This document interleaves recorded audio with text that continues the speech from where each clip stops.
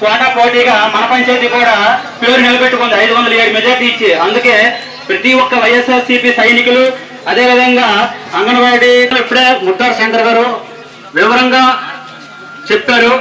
అవే సమస్యలు సార్. మాకు యాభై ఒక్క సీట్లు వచ్చాయంటే అది ప్రజలు ఇచ్చే తీర్పు అది ఆ, వైఎస్ జగన్మోహన్ రెడ్డి వచ్చానంటే ప్రజలు పెంచుతారు చెప్పారు. అదేంటంటే మూడు వేల వరకు వెళ్తుందని చెప్పేసి వచ్చి ఖచ్చితంగా ఎంత ఖచ్చితంగా ఉందో ప్రతి ఒక్కరికి తెలుసు. రేషన్ మీకు అందుతుందంటే అది ఖచ్చితంగా జరుగుతుంది. వాలంటీర్ తెచ్చి మీకు ఇస్తున్నారంటే. మీ మీ కుటుంబాలకి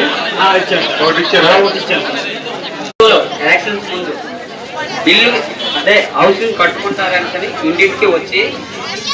కారణం ఈ రోజు మనం ఒక స్థానిక వ్యక్తులం ఒక స్థానికులుగా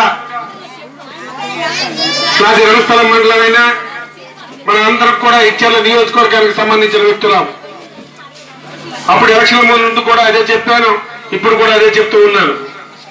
మన తాలూకా సమస్యల్ని మన ప్రజల తాలూకా సమస్యలు మనం దగ్గరుండి తెలుసుకోవాలని దాని ద్వారాగా సమస్య పరిష్కారమైనవి ఒక రెండు రోజుల్లోనో మూడు రోజుల్లోనో సమస్య పరిష్కారం చేయడం పరిష్కారం కానివి డైరెక్ట్గా మీతోటే ముఖాముఖిగానే చెప్పడం అనే ఆలోచనతో ఈ కార్యక్రమం పెట్టడం జరిగింది.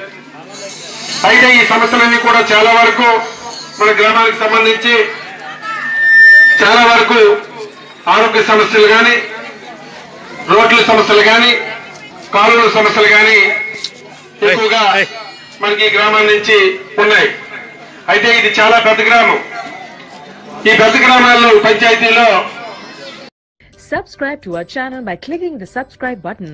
Click the bell button and enjoy the latest uploads from our channel.